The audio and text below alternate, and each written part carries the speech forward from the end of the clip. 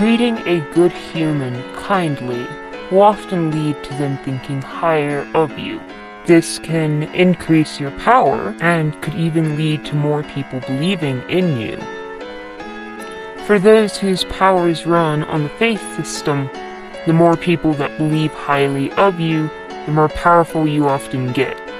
This is very important if you somehow get your hands on a haunted space. Because in haunted spaces, more people are likely to believe that you exist and think better of you. This, in turn, allows you to do what you wish with those who truly deserve it.